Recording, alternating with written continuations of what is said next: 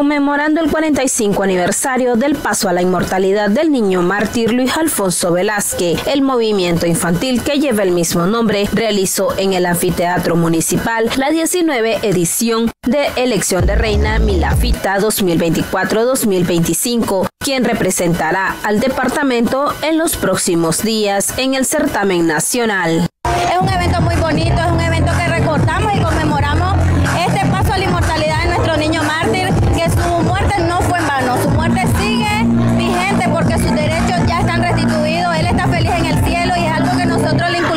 niños y niñas que hoy en día gozan todos los derechos de los que Luis Alfonso no pudo, pero él sabe que tenemos 17 años de educación gratuita y todos los derechos restituidos y con estas actividades recreativas lo que hacemos es conmemorar, pero sobre todo la sana participación. Un saludo para todo el equipo organizador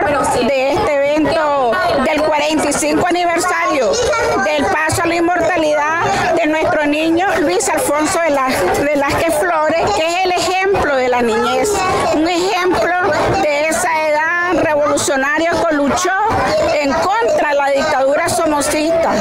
Entonces hoy estemos presentes. Los niños participantes son estudiantes de los diferentes centros educativos del departamento. Así es como